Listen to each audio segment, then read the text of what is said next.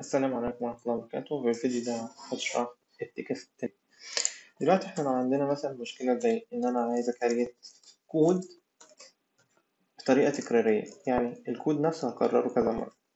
مثلا دلوقتي أنا مثلا أعمل مية property property واحد property اتنين property تلاتة property أربعة property خمسة وهكذا لحد مية مثلا. علشان أعمل الموضوع ده برمجيا أو يدويا صعب جدا فأكيد في حل.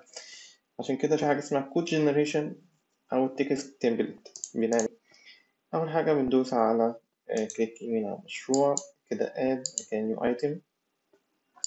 ن create مثلا class عادي ونغير ال extension بتاعه نخليه tt بدل cs يعني هو اختصار C sharp يعني. هنا text template اللي هي اختصار TT طيب أنا عايز أ create ال property دي بطريقة تكرارية. أعمل إيه؟ هكتب قوس hash for var i equal واحد. i كأنه كود C Sharp عادي جدا. مية. i plus plus ونقفل. ونيجي هنا؟ نقفل الكود بتاعنا. ونفتح هنا طبعا الكود بتاع ال for loop وبنكتب الكود بتاعنا بالشكل ده. طيب نيجي نعمل generate إيه اللي حصل. هنلاقيه كاتب لنا prop واحد prop طيب عايزين نغير property واحد دي ونخليها تمشي بقى واحد اتنين تلاتة أربعة. نعملها إزاي؟ نكتب هنا.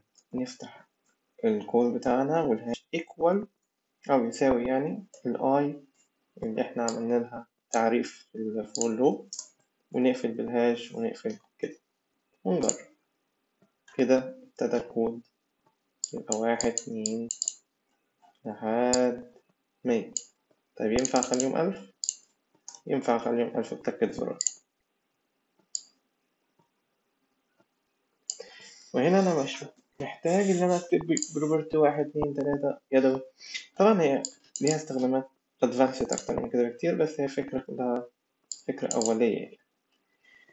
طيب إحنا عندنا مثلا ممكن ن create method نطلبها في الكود. يعني مثلا بدل ما أنا ألزق الشكل ده لا أنا عايز function معينة أو method معينة نطلبها وهي تعمل الموضوع ده هنشوفه في الفيديو التاني إن شاء الله. والسلام عليكم ورحمة الله وبركاته.